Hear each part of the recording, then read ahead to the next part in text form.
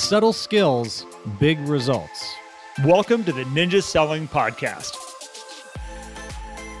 Welcome back, everybody, to the Ninja Selling Podcast. We have a guest with us again today. You actually just heard his voice, and he's back. James Mitchell is with us today, and we're going to dive into the funnel process part of the buyer process. We told you guys a few episodes back that we were going to break down certain parts of the, the buyer process, and James happens to be a funnel expert. And James is also a ninja selling coach. He's one of the fabulous coaches, has been a uh, realtor for many, many years at the group in Fort Collins, Colorado. So he has a lot of practice in executing the buyer process and perfecting it along the way with different clients as he's worked with. And that's how he's become the funnel expert, which Garrett happens to be a piece of the buyer process that I see so many people say, yeah, that funnel thing right? They, they, don't treat it with the respect that I think it deserves. And I think mostly because, like, I'm going to draw a funnel in front of my people. So we'll get into those things. And before we dive in, just a quick reminder, guys, if you haven't checked out our podcast community on Facebook, head over to facebook.com slash groups slash the ninja selling podcast. You can engage with like minded people who are experienced ninjas, just getting introduced to ninja, people who are new to real estate we also have a bulletin board as the first pinned announcement in that group that will highlight upcoming installations, mastery groups, and more so you can access more of Ninja to help you thrive. So, Garrett, good morning to you, sir. Good morning. And I'm I'm so happy we're going down this path with James. I've watched him teach the funnel to anybody who's again new to this and going, what in the world these guys talking about this funnel that you know as part of this buyer process in Ninja, we have an amazing process to help your buyers become buyers, to help you know who you're supposed to be working with. And in there, there's this funnel. And the funnel process is designed to basically take all the properties on the market and help narrow it down so you're only looking at the correct properties. And I find that people are dropping this through this time right now because they're like, what? I'm going to show them, I'm going to draw this funnel and show them that there's no properties on top of the funnel and there's no properties dropping out the bottom of it because there isn't any inventory. And they're like, I'm just going. I'm just going to go and work with them because that's what they need right now. And what we're watching is, and what James and I were talking about before this, which we haven't even let him talk yet. Polo. There you go. Uh, it's so incredibly important right now. And James, thank you for joining us again for more of your time to share this process is really valid right now and very valuable with helping work with people. So, good morning, James. Good morning. Great to be here. Great to talk about the funnel, man. The funnel put all three of my children through college, and they haven't even started college yet. So, I'm grateful to the funnel. That's a really powerful statement. That's awesome. There it is. We could just start with a mic drop right there. So, for anybody who's disrespecting the funnel, so to speak, or discounting it, it'll put your kids through college. So, James, let's go right into it. Why don't, I mean, you start telling us what is the funnel, first of all, for the people who may not know. So, the funnel is one of the steps of the buyer's process, I think like six or seven. And what it is, is a time for us as the ninja to work with our clients to set their expectations, explain how the process works, educate them on what's going on in the market, set our boundaries as a realtor and about how we work, as well as gets everybody more time because we're going to get this done more efficiently. And by get this done, I mean get the house bought, sold under contract, and successfully closed. This is where we explain and educate the process of buying a property. That's a lot. And I think a lot of people will be like, oh, I didn't realize it was all of that. I thought it was just a thing that we like slid some properties into and hope that something came out the back. So that's a lot of info right there. Let's go into how do you set this up? So there's there's a lot there. So we understand now that's what we're going to try to achieve as a realtor doing this funnel process with a prospective buyer. How do we set it up and what's the conversation look like with a buyer as we get going down this part of the process? So as we're cruising through the process, we're getting our prior knowledge and understanding and learning about what they're wanting. And then at that very glorious point, you get to ask your clients, would you like to see the process that we use to help you find the right house? And every client goes, yeah, I want to see a process. like what you got? then I grab a piece of paper and in my buyer packet and in your buyer packet, if you don't have a buyer packet or know what that is, I'm sure there's a podcast, go find that one. But inside the buyer packet, I always have some wonderful blank pieces of paper, right? Some notes for them, some pieces of paper and notes for me. So I pull out one of those pieces of paper and I draw on there a funnel. And at that point, because I'm a terrible physical drawing artist, I will tell them that this is a funnel. And I'm going to let you know that because I got a real estate degree from Colorado State, not an art degree. So I'm just going to tell you that I drew a funnel. It also kind of looked like a piece from the Sorry game if I turned it upside down. One client told me it looked like a fallopian tube. Like I was going to say, this is the tornado.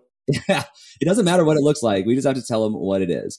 So when we draw that funnel, then we get to start working through the process, right? So pop quiz to either one of you. What are the major fears, the four major fears of a buyer?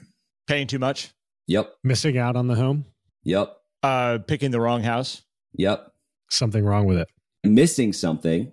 Okay. Paying too much. Buying a lemon.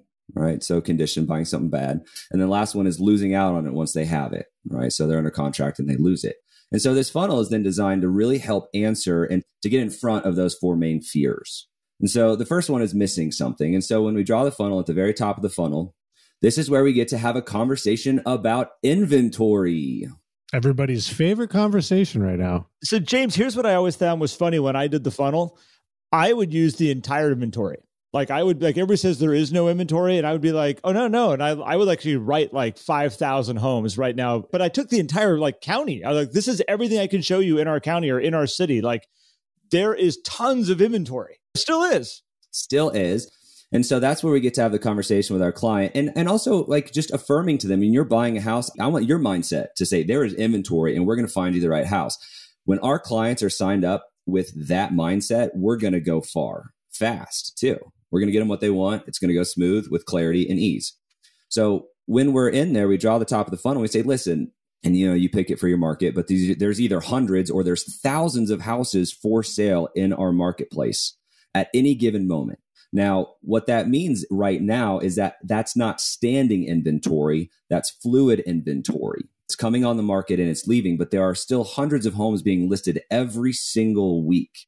There are for sale by owners that are going to be out there. I can help you with those. So, this is the conversation, the moment to say, hey, this is how FSBOs work. Just help me make the first phone call. Right. If you see a for sale by owner, snap a picture of the sign, you know, send me the address and I'll make a phone call Okay. So we get to have that chat. We also then in the funnel at the top, there's new construction, right? Again, depending on your market and new area. And then we explain how does new construction work? Like if you find new construction, make sure I'm with you or check in with you the first time you go look at it. Otherwise, they might not allow you to have your own representation. Okay, which happens in some marketplaces. So we have all the conversation about where you might find houses, whether it's Zillow for sale by owner, Craigslist, if anybody still uses that kind of a thing, your neighbor mentions that they're thinking about selling, right? Or a buddy, right? So anytime as your ninja realtor, I can help you with any house in the market. And here's why inventory is still, there's a lot of it. It's just not sitting. So we get to set all those expectations up front. Don't miss anything. Awesome. Okay. So moving on to the next buyer fear then, right? This is where I set a boundary for time. So before we get to that fear, say there's a lot of homes. You're going to look at hundreds online. I'm going to ask you to drive by dozens. I want you to see if you'd even like the neighborhood. So now I'm giving them permission to go drive by to say, do I even like this place before I call up James and say, can I go look at it? Can you set up a showing? Say you're even going to get out and try to peek through the windows of some. Okay. Just make sure it's vacant because people don't like that. That's constant across all markets, by the way. That's not just Fort Collins. Yeah. Yeah. People don't like that. And that's also, like I say, you're going to walk through some. And so if you see open houses, even if they're under contract, go walk through them, you know, and I'll explain how that works. Just here's a bunch of my cards, give it to the person on staff there, right? Or just say I'm working with James and it becomes more about the house instead of them trying to pick you up as a client. So I'm able to give them permission on all the different ways they're allowed to go look at houses, or they can go look at houses with me still being their guide. And it now starts to buy me a little bit more time until they really see something they want to get into. Huge time saver. Huge time saver. I think this is probably one of the most important parts too, because now you're also can go into conversations about your time, how you set appointments, the weekly customer service call, even maybe at this point as well, right? Absolutely. All of those things get piled into this. Yep. Then we get into the rolling top three. We explain the filters, and I'm going to say, hey, at the end of this, we're going to get your filters, which is the what we get from the two pieces of paper exercise, the what and the whys. And then so that's how it works. We're going to set up your search, but hey, we've got your rolling top three. Say you're going to like this property, we're going to potentially even put an offer on it. But if you don't get it because somebody's got cash or offers like a hundred thousand dollars over asking with cash, you might not be able to compete with that. That's their house. Good news. There's one less person you're competing with for the next place. Okay. And you know what? Law of attraction says it wasn't your house. So let's not get too tied up if some, if it was somebody else's house. So I'm also giving them permission to not take it personally or get too offended, you know, to be more strong in this process because it requires that. Once you figure out the rolling top three, though, also, James, the nice thing that I've found when I was selling and I've watched people do it is that it's fun to sit in the car with somebody when you're looking at property and, and have to have them say, okay, where does this fit in? Is this number one, two, or three in your rolling top three? If there are even that many homes that they're finding out here right now, but it's always fun when they have to eliminate one. Like it's okay. It's like you got three here already. Which one goes away? And this sets the stage to be able to, at the end of that, be able to say, okay, do we want to write an offer on number one here? You've labeled this as number one. But if you don't have the rolling three set up through the funnel process, now you're just looking at homes. Yep. So again, we're, we're helping them define and find clarity in their search. You know, I say, okay, so rolling top three, you know, you try to buy one, it doesn't work out, or somebody else gets it and I'll say then a new house is going to pop on the market. It's going to slide straight through your filter. You're going to love it. We're going to look at it. We're going to write up an offer on it and you're going to go under contract. Okay.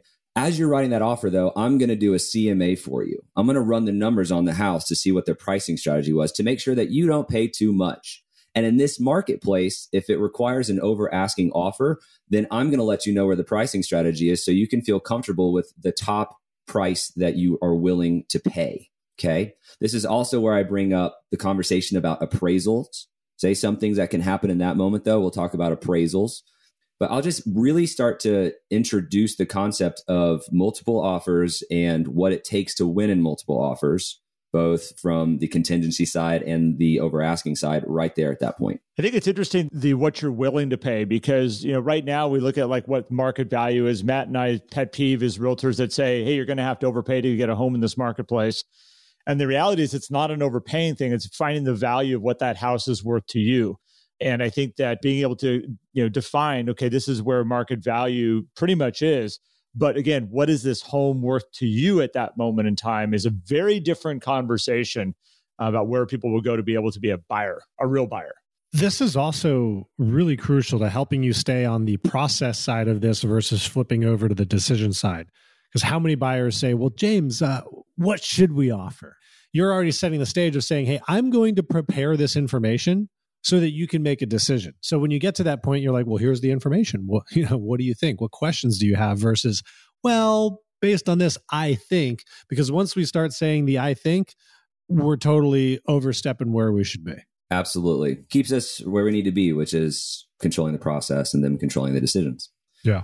So we go through that stage and then say, okay, now that you know you write the contract, you're under contract. I write the contract for you. I handle everything on your behalf. So when it comes time to write that contract, I'm going to ask you five questions and it's going to turn into 19 pages of legalese. Great way to say that. So then we're going to go through all that information.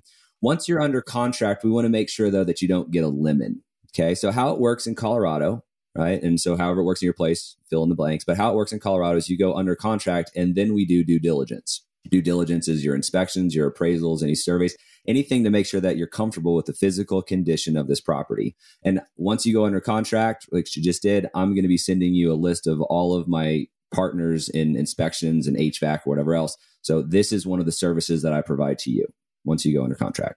Now this goes back also into some marketplaces, James. Like they're having to like waive all this stuff because that's the only way you're going to be successful. And again, what I'm hearing from you is this is also the time that we would have that conversation of saying like, yeah, this is the time where we're going to try to make sure that you don't get a home that has some issues. But you may also have to be comfortable with saying, hey, we're not going to do those things if we want to be successful with buying a certain house. And the nice thing is, you as the realtor have the ability of helping them decide which homes are the ones that hey we've got some time we can run some of these inspections and do these things. We can include that in the offer. And there's certain homes that are just absolute cream puffs that you're like here are your options that you have to choose now.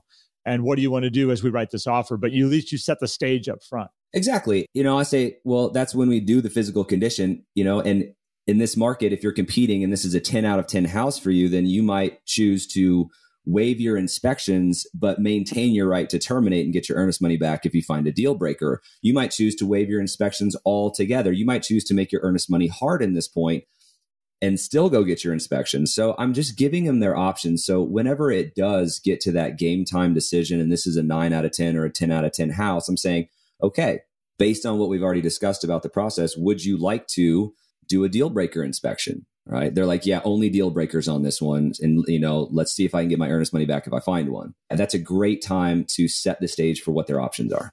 Awesome. And I want to throw out a couple other options here because there's a lot of different things that are being done across the country.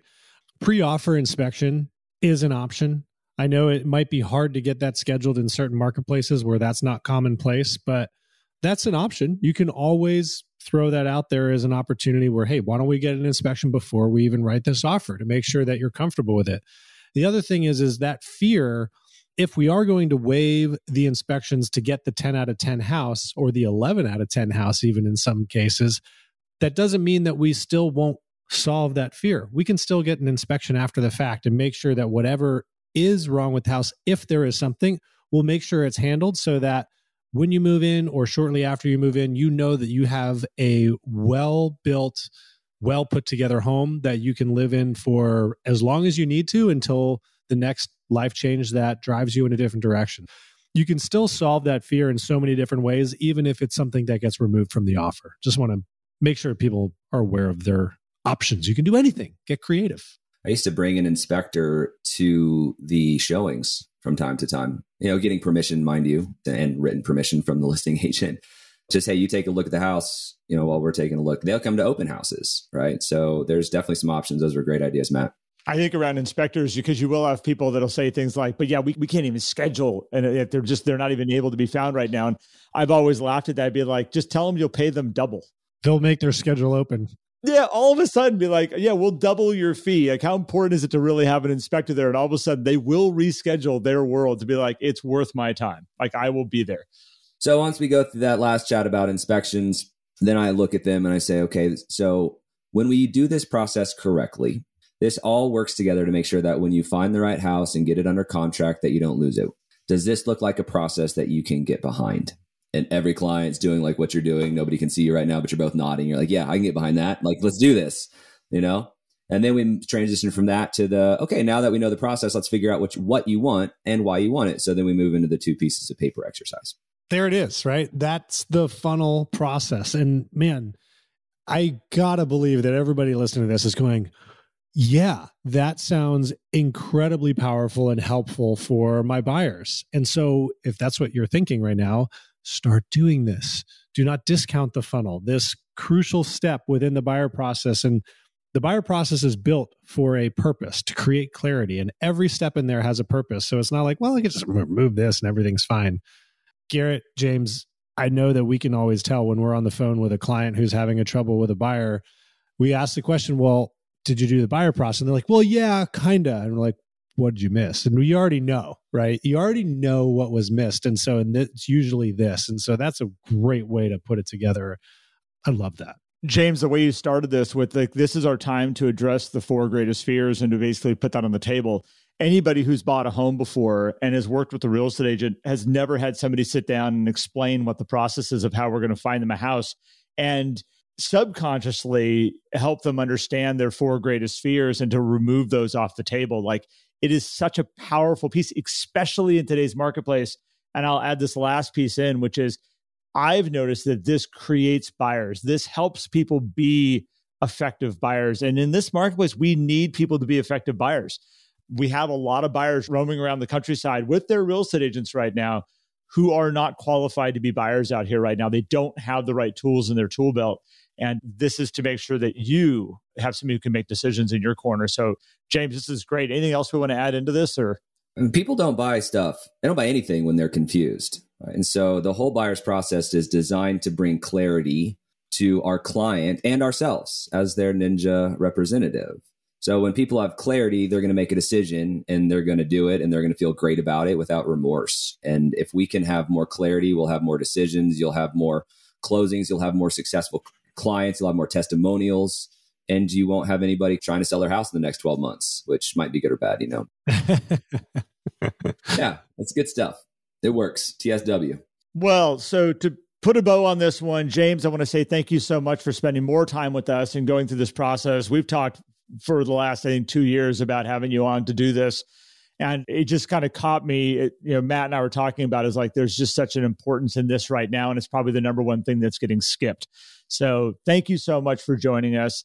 If you want to go check us out, there's the podcast uh, community on Facebook. Please go there. If you want to learn more about ninja selling, installations coming up, mastery classes that are happening, coaching, you can find all of that on the bulletin board on the podcast, or you can go to ninjaselling.com and you can find it there. Please come and join us again. We love all of you. We appreciate all of you. Thank you, James. Thank you, Matt. Have an amazing day. Thank you, James. Thanks, y'all. Thank you, Garrett. If you enjoyed today's episode and would like more, visit us at the ninjasellingpodcast.com. There you will also find links for more information about ninja selling and coaching. Have an incredible day.